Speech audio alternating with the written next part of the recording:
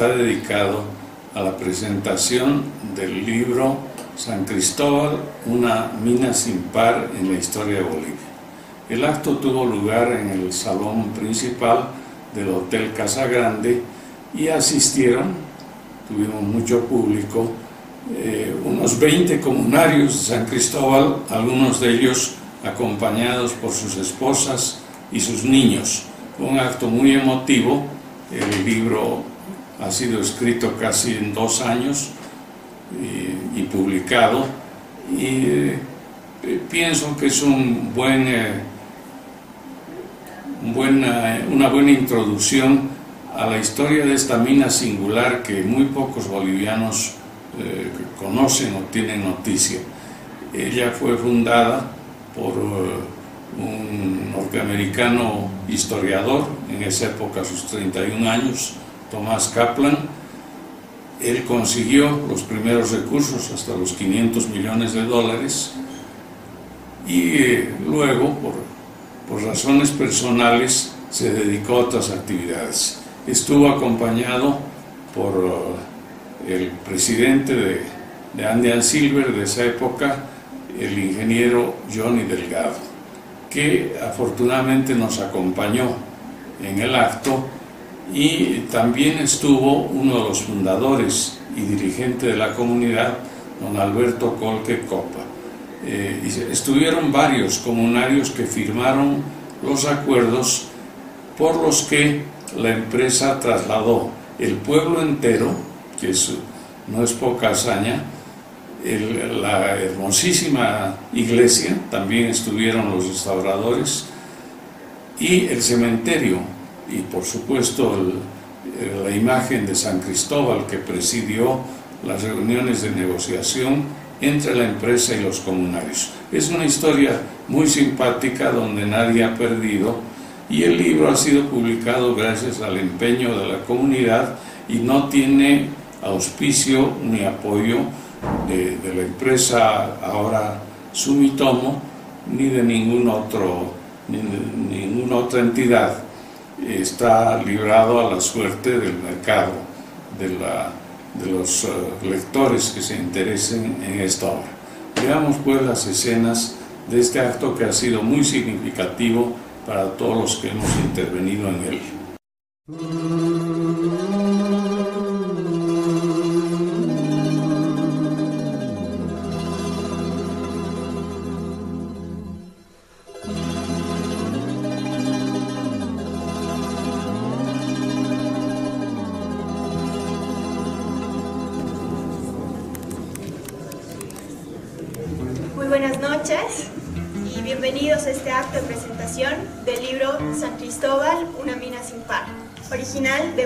Bautista Gumucio. Este acto ha sido auspiciado por la comunidad de San Cristóbal, a cuyos miembros les, hacemos llegar nuestro agradecimiento más sincero. Iniciará el acto el señor Alberto Colque Copa, presidente del Consejo Consultivo Los Lipes, San Cristóbal. Quiero dar una grata bienvenida a todos a la presentación de este libro que seguramente va a quedar en la historia sobre todo en nuestro pueblo, que en todo este trayecto que nos tocó vivir hasta ahora, he aprendido tres cosas de las personas, que vemos tres tipos de personas. Uno, las que hacen que pasen las cosas, las que hacen que pasen las cosas. Y otra, las que ven pasar las cosas. Y otra, las que preguntan qué pasó. Creo que aquí tengo un puñado de personas del primer grupo que han hecho que pasen las cosas en un pueblo tan eh, considerado inhóspito, eh, que, que, un grupo de personas como las que mencioné, eh, voy a nombrar algunas de ellas, juntamente con sus, con sus cargos de, ese entonces.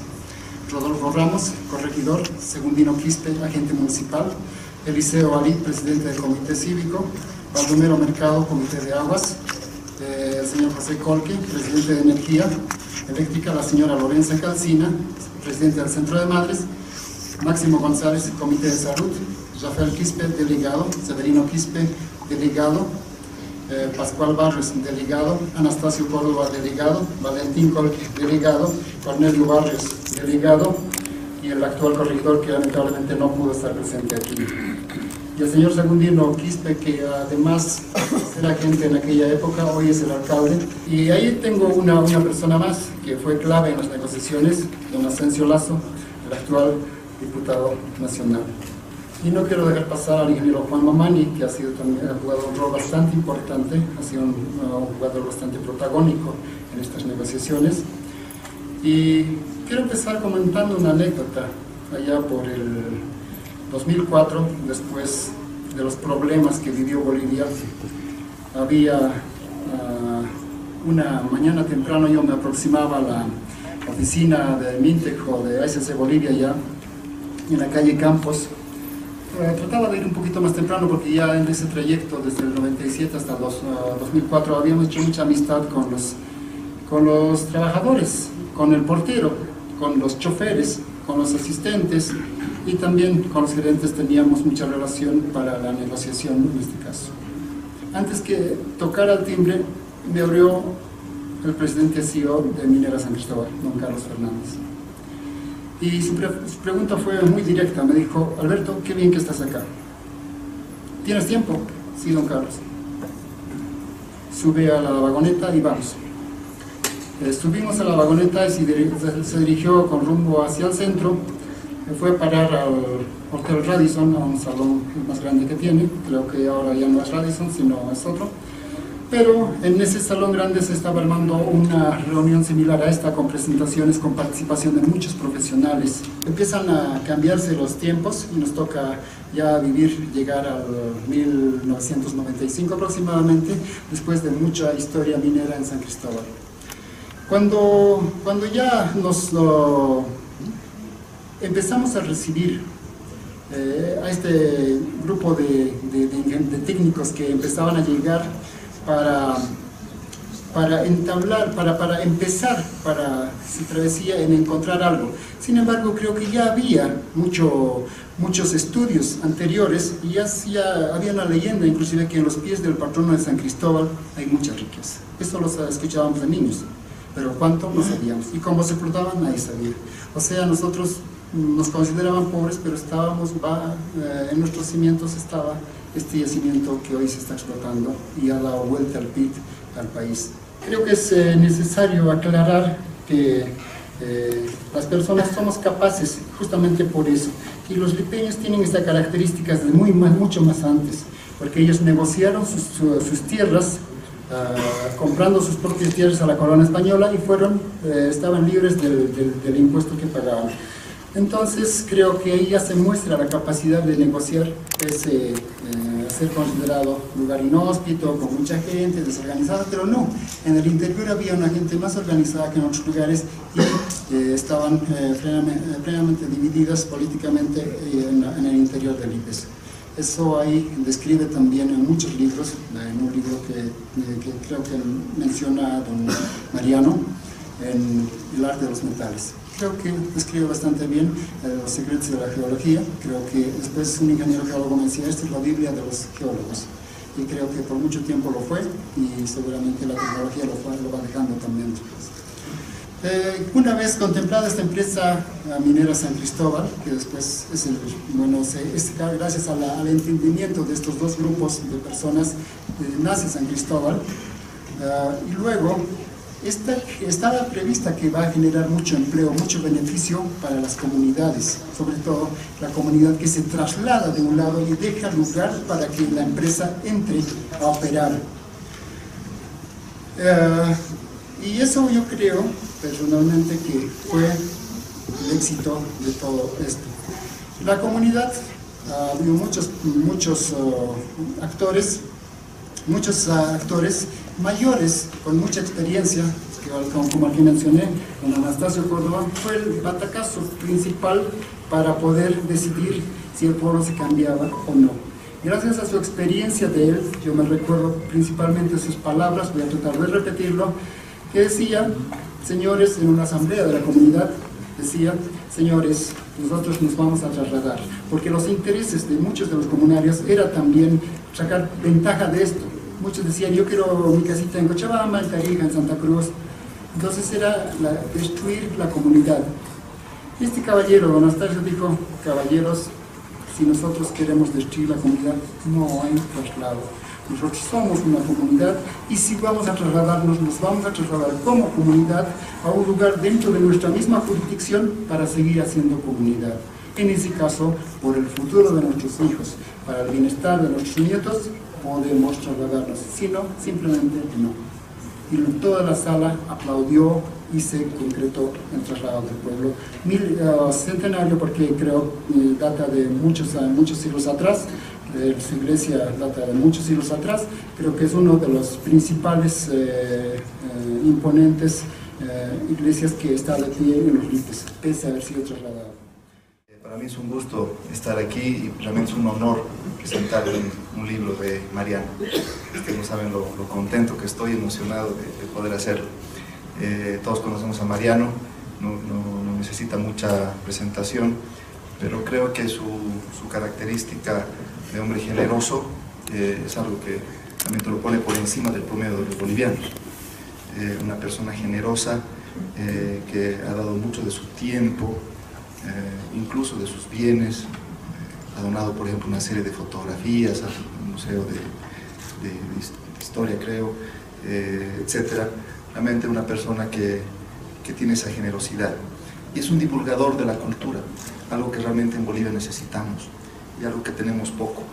Alguien que divulgue lo que somos, que, un poco nos, nos, cuente y nos haga eh, el favor de aumentarnos la autoestima eh, a, través de valores positivos. Eh, como ustedes saben, Mariano ha hecho tantas biografías, ensayo, historia, etc. Se dedica al periodismo, es, gusto de ser parte del directorio que lo ha nombrado Premio Nacional de Periodismo, hasta ahora mismo, eh, pudiendo ya estar eh, jubilado, eh, sigue trabajando con su cámara, haciendo su programa de televisión. Por todas esas cosas realmente estoy muy, muy contento de, de poder presentar el, el, libro y un poco nervioso además. Este, así que, ¿por qué hacer un libro sobre San Cristóbal? eso es lo que cuando Mariano me pidió que yo pudiera presentar, ¿por qué un libro sobre San Cristóbal? Es la tercera mina de plata del mundo y la quinta de zinc a cielo abierto. Entre el 2008 y el 2012 San Cristóbal tenía el 35% de la producción total del país.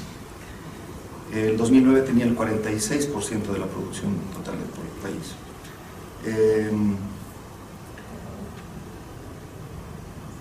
en un lugar eh, aislado, inhóspito, difícil de llegar, sin caminos. Ahí es donde se ha hecho una mina que es un ejemplo no solamente en Bolivia, sino también a nivel internacional.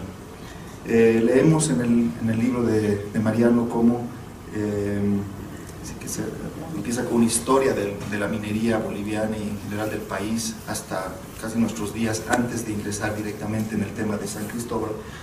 Y cómo eh, con datos muy interesantes nos va mostrando cómo la minería ha sido tan transversal a nuestra historia, eh, un país minero que lo sigue siendo hasta hoy, eh, este país que se ha creado realmente gracias a, la minería, con todo lo malo que eso conlleva y también todo lo bueno que, eso, que eso trae.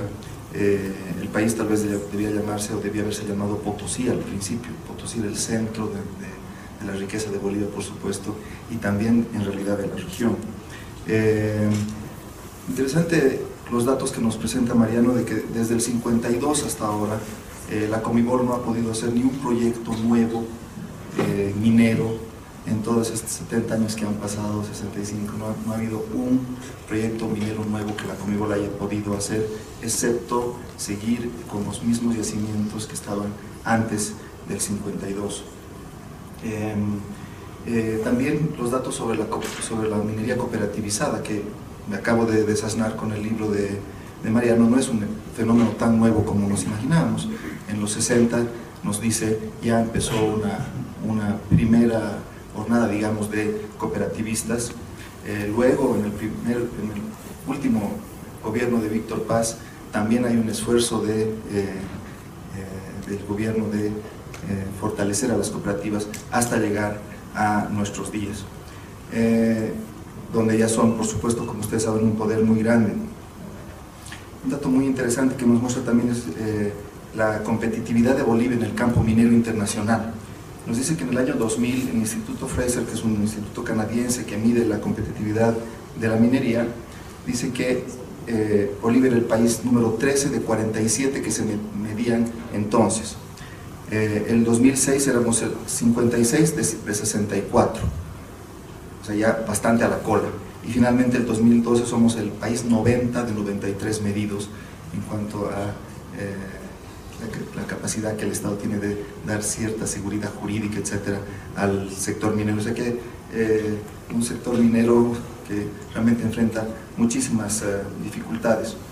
Eh, dice uno de los, eh, de los comunarios de la provincia de Norlipes, antes había un gran respeto a las autoridades originarias en la provincia de Norlipes. Las autoridades hacían rondas por los límites de los aullos a pie y la gente se arrodillaba ante las autoridades originarias. Se les daba comida y alojamiento en todos los lugares que visitaban. Había más respeto por las autoridades originarias que para las otras autoridades. Eh, Mariano nos cuenta cómo primero es Mintec, la empresa que tiene la, la mina, el yacimiento, y hacen un esfuerzo para conseguir eh, inversionista que pudiera desarrollar el proyecto. Y ahí eh, Mintec contacta a Scotty Cruz, que está con nosotros, nuestro escocés boliviano, eh, que lo pone como vocero para conseguir a un inversionista. Entonces Scotty empieza a viajar a muchos foros, congresos internacionales de minería para encontrar esa persona o ese inversionista que pudiera eh, desarrollar la mina.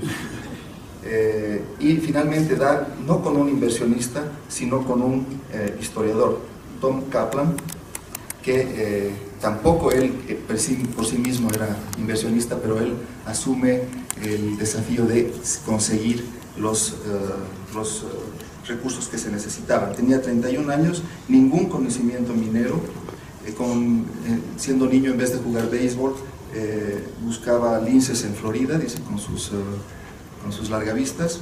Eh, un historiador que hizo una tesis sobre la influencia del marxismo, no sé qué cosa así un poco extraña, que es el que toma la, el desafío de conseguir eh, el, los inversionistas. Lo increíble que en ese tiempo la onza de plata estaba en 3 dólares con 50, ¿no es cierto? Muy bajo, el precio más bajo que, que, había habido en muchísimo tiempo y muchos analistas pensaban, nos cuenta el libro, de que ese precio no se iba a realmente recuperar. Pero más bien Kaplan piensa al revés, a contracorriente. Ahora que está bajo, en algún momento tendrá que subir. Cuando se cierra la, una afamada mina mexicana, Real Los Ángeles, se cierra por el bajo precio y porque realmente eh, no daba el negocio minero de la plata, eh, es que Kaplan se entusiasma más todos lo pensaban que estaba realmente loco, incluso su familia. Están cerrando las minas si tú quieres entrar a este negocio. Eh, y tiene la suerte de encontrarse con George Soros y con el hermano de George Soros, Paul, eh, a quienes los convence para eh, que se pueda desarrollar la mina. Y luego el desafío de empezar con un proyecto dificilísimo una vez que ya se tienen los recursos, una mina a cielo abierto, pero oh problema, debajo de o sea, hay, encima de, de donde está el mineral hay un pueblo, un pueblo histórico, eh, que ya nos ha contado algunas características Alberto, con una iglesia de 400 años, que era un monumento nacional, una iglesia preciosa, se ve en las fotos que nos ha puesto Mariano. Eh, entonces, ¿qué problema hay que trasladar el pueblo? Y ahí empieza la dura negociación, difícil negociación entre el Estado boliviano, la empresa transnacional y los comunarios y por una casualidad que no se repite mucho en la historia boliviana, todos actuaron con sensatez, con tranquilidad, eh, aunque era difícil llevar adelante la negociación, pero al poco tiempo se logra esta cosa increíble de trasladar un pueblo y trasladar una iglesia de 400 años, ladrillo por ladrillo, numerar todos los ladrillos, todas las tejas, absolutamente todo, para volver a reconstruirlo eh, un par de kilómetros más allá. ¿Dónde llevar el pueblo? Muy interesante. Dice, Mamani, uno uno de los entrevistados, piensa que fue enorme la importancia del factor religioso en las negociaciones. Empezaron las charlas por encargo de la comunidad acudiendo a la imagen de San Cristóbal, requiriéndole su autorización y licencia. Y una de las cosas que plantearon fue que se conformara una comisión de ancianos junto a los negociadores de San Cristóbal para buscar al yatiri más calificado del país para que encabezara esa negociación. Viajaron a La Paz, a Copacabana, a Cochabamba, Oruro y lo encontraron finalmente en Quillacas, un hombre de apellido Aguilar. Él fue quien decidió la ubicación del nuevo pueblo haciendo consultas a las hojas de coca. O sea que interesantísimo cómo también la religión, la sabiduría indígena, etcétera, jugó un rol importante y cómo Muyatiri al final pudo establecer y, y destrabar una negociación que estaba complicada. Y luego, ¿qué hacer con la iglesia? Tiene 400 años. Por el lado de la religión católica se tropezó con un obstáculo. La antigua iglesia no tenía párroco desde hacía muchos años y para las fiestas iban a recoger al cura Aoyun. No se sabía a quién correspondía la tuición de la iglesia, si al arzobispo de Sucre o al obispo, de Potosí o al nuncio apostólico en La Paz. La iglesia católica boliviana no sabía qué hacer con esa iglesia, quién tenía que negociar. No tenían un yatiri que sea la contraparte. Finalmente, finalmente se logró dar el visto bueno. Eh, obviamente la iglesia aceptó que podía trasladarse el templo. El libro está lleno de estas anécdotas sabrosísimas eh, de, eh, de, cómo se llevó la negociación. Y lo último, lo último que les quiero leer es que para hacer el, para hacer el traslado había que empezar trasladando el cementerio. pero antes había que pedir perdón a los muertos, porque los están trasladando, estamos trasladando obviamente sus, cuerpos, etc. No se puede trasladar así nomás un cementerio. Entonces, eh, al ingeniero Larry Buchanan, que era el encargado de la, de la obra, eh, eh, se le acerca a Zenobio, uno de los comunarios, y le dijo, esta noche pedimos perdón entonces Larry siguió a don Juan y Zenobio a la cantera. Ambos masticaban coca. Se sentaron en la capilla vacía, tomaron unas cervezas y fumaron algunos cigarrillos sin dejar de llevar hojas de coca a sus bocas. Antes de darse cuenta estaban de hinojos al lado de la pared del cementerio. Tras una hora de arrastrarse en la oscuridad pidiendo perdón a gritos por perturbar las armas de los difuntos, sus rodillas estaban ensangrentadas y el viento le azotaba tan fuerte al ingeniero norteamericano Buchanan que incluso dejó de sentir el temblor de su cuerpo. Como no podía dar marcha atrás, continuó arrastrándose junto al muro, lo que le permitía protegerse un poco del viento. Mira entonces a los comunarios que ya habían terminado de arrastrarse, que tenían que dar tres vueltas arrastrándose por el cementerio, los mira diciendo, ya he dado dos vueltas, ¿puedo parar? Y le dicen, no, tienes que dar la tercera vuelta porque no podemos nosotros a nuestros muertos importunarlos así. Entonces, eh, solo por una cuestión de hombría lo empujó a terminar la tercera vuelta con las rodillas ensangrentadas. Entonces, eh, ese es el, el recuento que nos hace interesantísimo realmente sabrosísimo, lindísimo de cómo, cómo se ha hecho esta negociación tan complicada hasta llegar ahora que es la empresa Sumitomo la que es dueña de la, del, del. Voy a evocar algunas uh, pocas uh, experiencias del tiempo que me ha llevado tomar uh, hacer este libro con la satisfacción además de haberlo hecho con mi hijo José Manuel en la dedicatoria del libro. Hay, hay dos personajes, digo,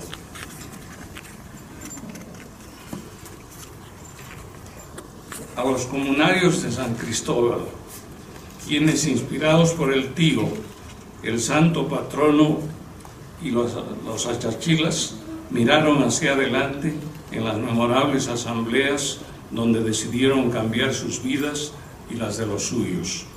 Y la segunda dedicatoria es a José Manuel por todo lo que le debe este libro. Él no está en La Paz, por eso no nos acompaña. Eh, eh, narro en la introducción que me, ha habido muchas cosas de casualidad en mi vida y una de ellas fue el encuentro con Alberto Colque en Uyuni. Estaba yendo yo a Tupiza a hacer un programa de televisión y coincidimos en un café y él me habló con mucho entusiasmo del templo, del, nuevo templo de San Cristóbal.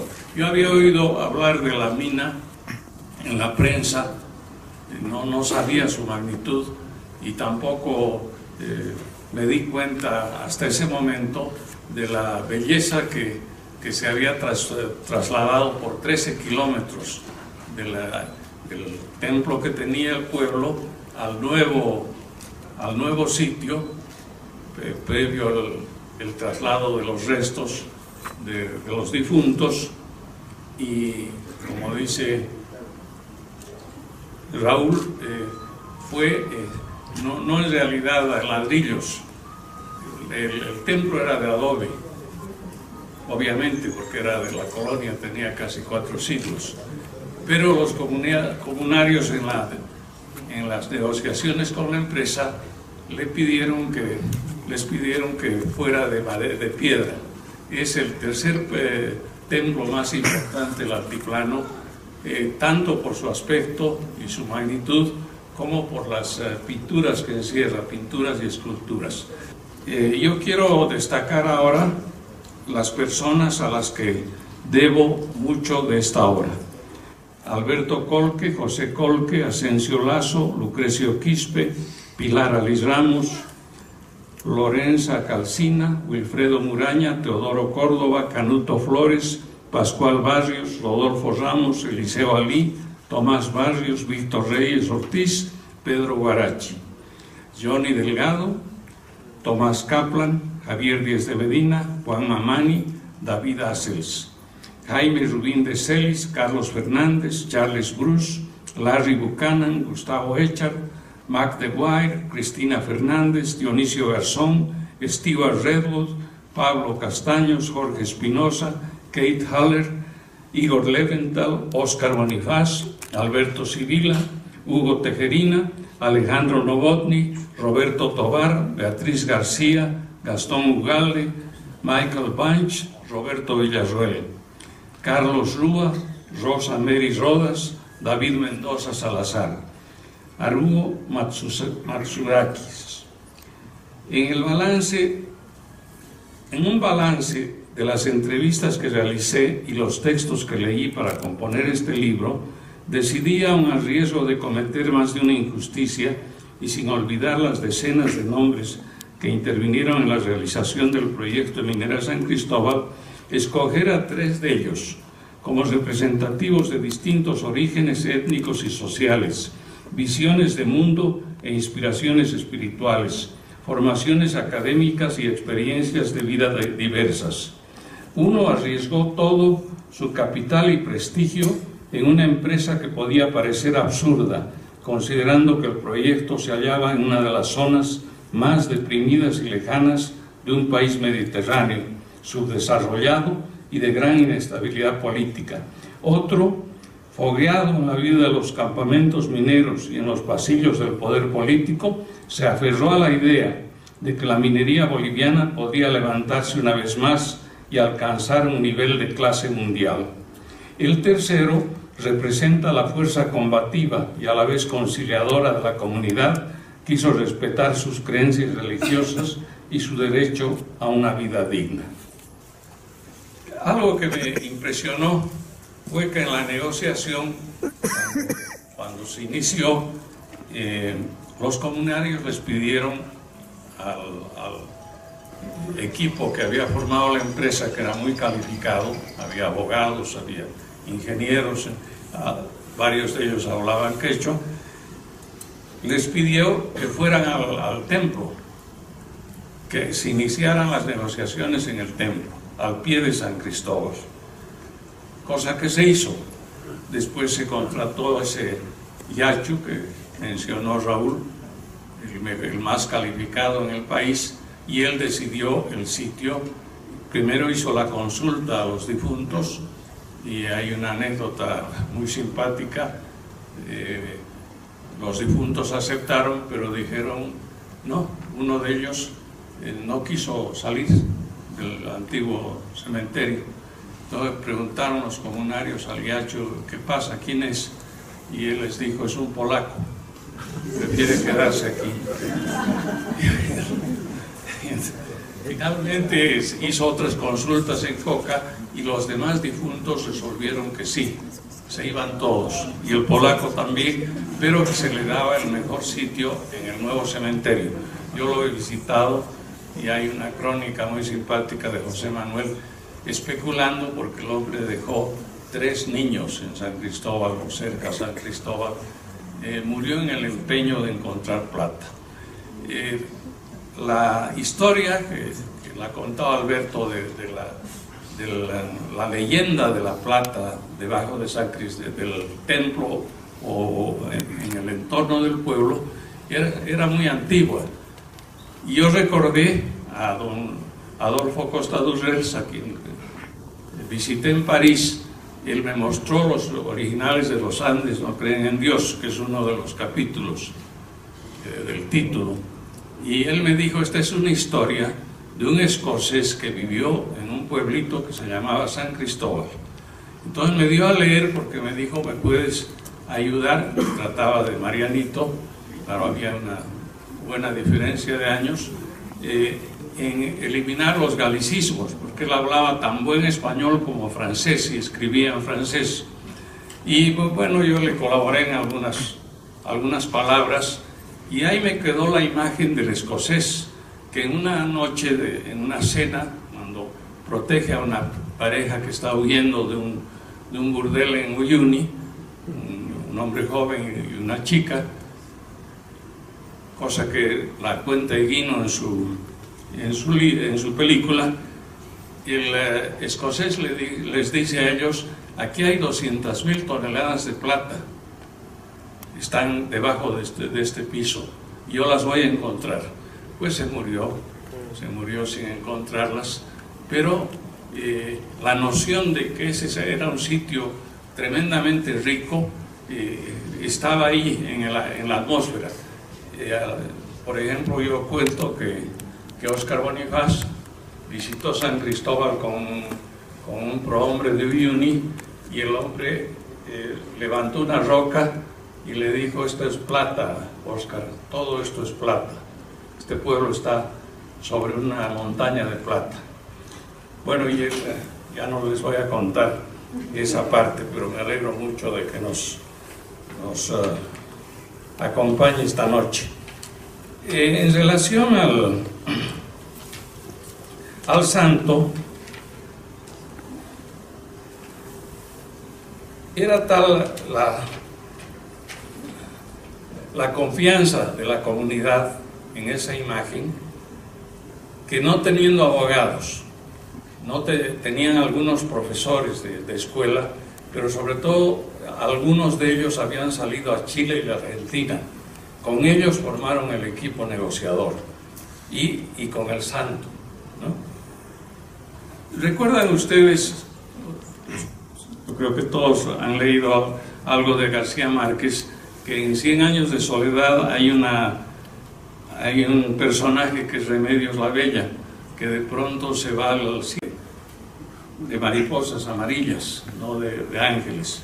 Bueno, este párrafo, esta leyenda que encontré en San Cristóbal, le hubiera gustado conocer a García Márquez. Dice así, San Cristóbal, por supuesto la leyenda no, no respeta precedencias ni cronología, se van a fijar enseguida. San Cristóbal con cariño llevaba de una orilla del río a la otra a toda la gente, niños, ancianos y pobres. Un día apareció un niño muy humilde y sencillo que tenía un rostro bondadoso. San Cristóbal cargó al niño para pasar el río, pero pesaba demasiado y apenas logró llegar hasta el otro extremo. Después bajó al niño y le preguntó por qué pesaba tanto. El niño le dijo, es que yo estoy llevando todo el peso del mundo. Soy tu Señor Jesús y soy un niño humilde para que te des cuenta de que lo que hagas a estos mis pequeños, a mí me lo haces. Desde ese momento, San Cristóbal cambió su vida y se volvió más hacia Cristo. Y el niño le dijo, desde ahora te llamarás Cristóbal, que significa el que lleva a Cristo. Bueno, estas eh, leyendas eran vivas en la comunidad la imagen tiene dos metros. y el traslado fue histórico. Eh, yo relato cómo eh, se logró eh, este tránsito a pie de 13 kilómetros, cómo se incorporó al santo al nuevo pueblo, se lo llevó al amanecer para que no se diera cuenta de que se estaba produciendo el traslado. Tal era el cariño que tenían por él. Y así lo han conservado. Voy a, bueno, voy les diré algunas de las cosas que me impresionaron en, el, en la redacción del libro. Primero, el hecho de que San Cristóbal era un emprendimiento totalmente nuevo, aunque siempre se había, eh, había una tradición minera, nadie pudo eh, arrancarle a la, a la montaña eh, gran cosa de mineral. O sea que no, no era una herencia española, como, como han sido todas las demás minas de la República. Era un emprendimiento nuevo.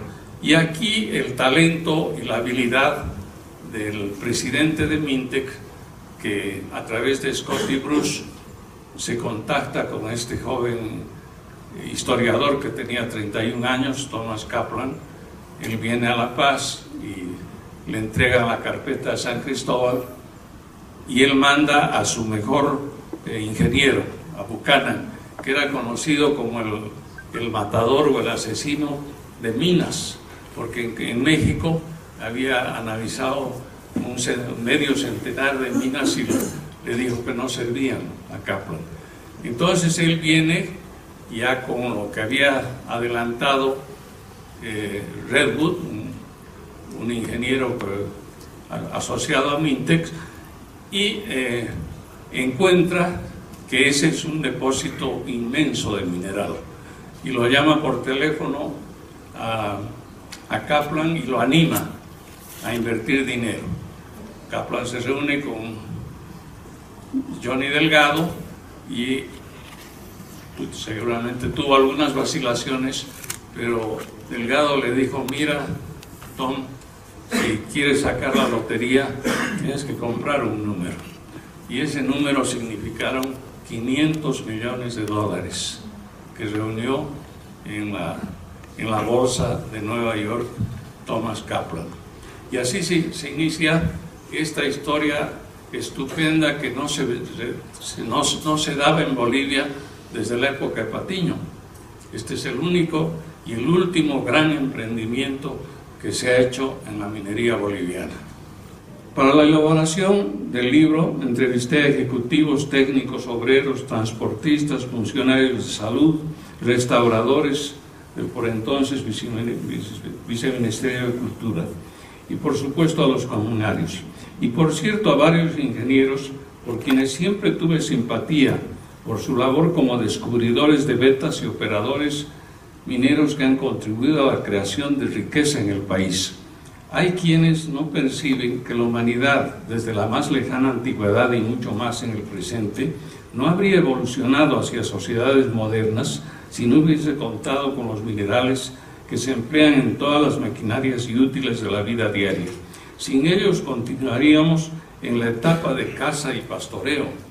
Y realmente la sociedad boliviana no valora a estos uh, ingenieros, además salidos de nuestras facultades, muchos de ellos, y que han sido capaces de crear mucha riqueza en su momento. Pero se produjo esto en San Cristóbal en buena hora. En este momento el precio del mineral de plata está en 13 dólares la onza Troy, de, de 30 que tenía. Es un momento difícil, pero San Cristóbal sostiene 1.500 hogares directamente y 4.000 o 5.000 en forma indirecta. El pueblo es, eh, es, un pueblo moderno, no al estilo de lo que hubieran querido los, ejecutivos de Mintec, que querían conservar su aire colonial para sacarle eh, una, utilidad turística. Sin embargo, ya tienen ese templo estupendo y hay otros elementos que se pueden desarrollar. Eh, me encontré varias veces con esta frase. Me decían los comunarios y los ingenieros también, están pasando los años, algunos se han retirado de la empresa y hay mucho personal nuevo que ignora totalmente cómo surgió y se abrió paso Minera San Cristóbal, pese a la cantidad de obstáculos que parecían insuperables. La mina estuvo paralizada por cuatro años por falta de energía eléctrica. Afortunadamente en el tema de agua, que es capital para el desarrollo minero, se ha encontrado aguas eh, subterráneas que no sirven, no son potables ni sirven para la agricultura. Y ese es uno de los eh, eh, éxitos que ha tenido San Cristóbal. Pero estuvo sin energía eléctrica por cuatro años. Y el talento ahí de, sus ejecutivos estuvo en, en, llevar a los comunarios con los que ya se había hecho convenios a, a obras sociales en lo que se llamó pueblos nuevos. Se los distrajo con, con salarios eh, razonables hasta que la mina entró en operación. Bueno, la frase que, les he contado me recordó un pensamiento del novelista Joseph Conrad, que decía, una verdad, una fe, una generación de hombres pasa, se la olvida, ya no cuenta, excepto para aquellos pocos tal vez que creyeron esa verdad, profesaron esa fe o amaron a esos hombres. Y ese es un poco el objetivo del libro. Yo me quedaba eh, pasmado, José Manuel también, viendo unas muchachas que manejaban camiones de 140 toneladas como si estuvieran en un monopatín. Se manejaban con una gracia absoluta y lo hacen, pero no solo son transportistas, hay ingenieras, hay técnicas. Creo que es un 30% del personal de la mina que es femenino otros dos aspectos que les voy a mencionar. Eh, en la actividad minera hay diversos tipos de cascos, unos de un color y otros de otro. Los ingenieros tienen uno eh, distinto, es como una categoría militar. Pues en San Cristóbal todos usan cascos blancos. Hay una igualdad total. Eh, en el, en el comedor, cuyo debe ser eh, como espacio el más grande que tiene Bolivia en esa materia, entran 1.500 personas, eh, el servicio es de self-service, pero hay tres tipos de menú al día, uno para diabéticos, para gente que está con exceso de peso. Entonces, eh, esas condiciones son realmente nuevas en la minería boliviana.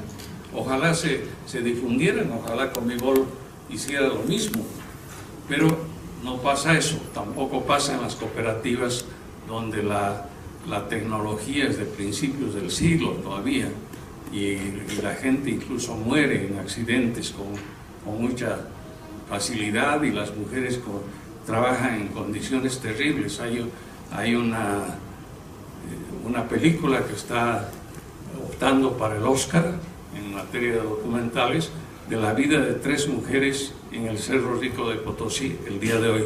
Es decir, ha sido filmada hace unos meses y es una de las películas que está de finalista. El libro concluye con cuatro, cuatro opiniones de expertos, porque no es mi campo la minería, mi campo, como ha dicho Raúl, es la historia y mucho el periodismo. Entonces, eh, le, le agradezco a Stewart Redwood, a Jaime Rubín de Celis, que también ha sido capital en el desarrollo de la mina y en la obra. A Jorge Espinosa Morales y a Dionisio Garzón, que son los grandes expertos, exministros de, de minería ambos, que también opinan sobre eh, la importancia de San Cristóbal. Quiero agradecer especialmente a la señora Marciana Vivado de Cal, autora de la excelente traducción del texto del español al inglés a, Humberto Rada por los cuadros que reproduzco de su libro sobre la minería. En una biografía de Hemingway que leí hace algún tiempo, me impresionó el hecho de que cuando recibió el premio Nobel, dedicó el dinero a pagar sus impuestos, pero también a ayudar a sus amigos. Repartió su plata entre sus amigos. Y le quedaba la medalla y se las regaló a la Virgen del Cobre Cuba. No sé si era creyente, pero me, pareció muy simpático de él. Con esta explicación, dice que hay un antiguo dicho chino que uno no es dueño de algo si no lo entrega a otro. Y esa era la filosofía de Hemingway. Y yo quisiera parecerme en eso al gran novelista americano. Finalmente, quiero agradecer la hospitalidad que me dio y la amistad a Alberto Colque, que es el tercer protagonista de estos tres, no en orden, del libro. El primero es Thomas Kaplan, que consiguió esos 500 millones y luego se retiró porque él decía que no era minero y que él siempre quería ver más allá en el horizonte. Y describo un poco la actividad que tiene en el exterior. Nos ha enviado un mensaje de adhesión a este acto y ha prometido venir quizá en septiembre y ser acompañado por, por Johnny Delgado en una visita a San Cristóbal, la nostalgia de la juventud. Quiero pedir a los miembros de la comunidad, auspiciadores de este acto, y que han recorrido 600 kilómetros de carretera, que se pongan de pie. Por favor, pónganse de pie los comunarios de San Cristóbal para recibir nuestro aplauso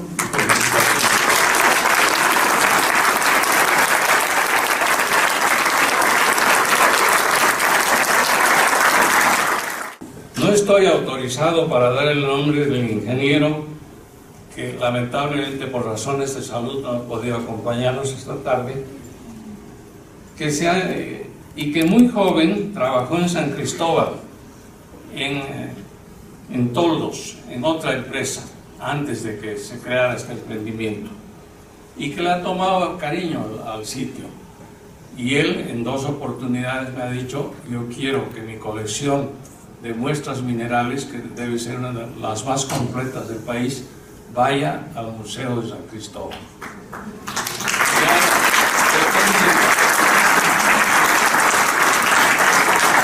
Con esta colección, San Cristóbal tendría el museo mineralógico más importante de Bolivia. Yo creo que lo vamos a conseguir. Yo de mi parte me puse a ver en mi escritorio qué cosas me quedaban. Y yo les he hablado de las casualidades en mi vida. Y me fijé en un cuadro que conservaba porque era de mi bisabuelo, era un nombramiento, pero nunca me fijó, me fijé qué decía, simplemente lo conservé por su firma y por el hermoso sello republicano. Y me llevé la sorpresa de que es un nombramiento, dice a Daniel Terán, he venido a nombrarlo guardalmacén de la aduana nacional de Uyuni.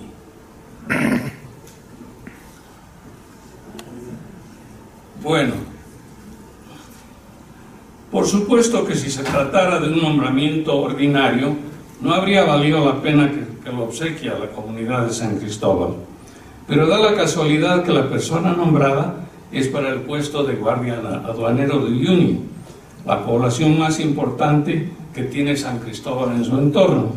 De alguna manera, este documento muestra que la región era importante mucho antes del Dakar y que gobiernos del pasado, pese a las distancias y la pobreza, trataron de crear instituciones y sentar soberanía en esa región por entonces casi inalcanzable. Bueno, voy a dejar este documento en manos de, Alberto Colque, pero quiero eh, entregar un ejemplar del libro eh, simbólicamente a quien hizo posible, con su talento, con su habilidad organizativa, con su don de gentes, con su diplomacia para tratar a los extranjeros y tratar a los comunarios como seres humanos dignos de igual respeto. Quiero entregar ese libro a Johnny Delgado.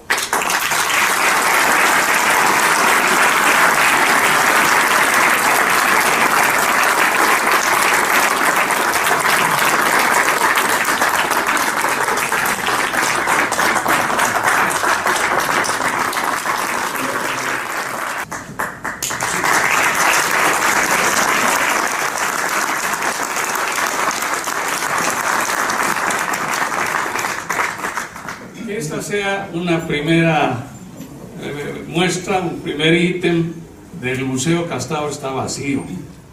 En eso todos nos hemos descuidado, incluso la comunidad.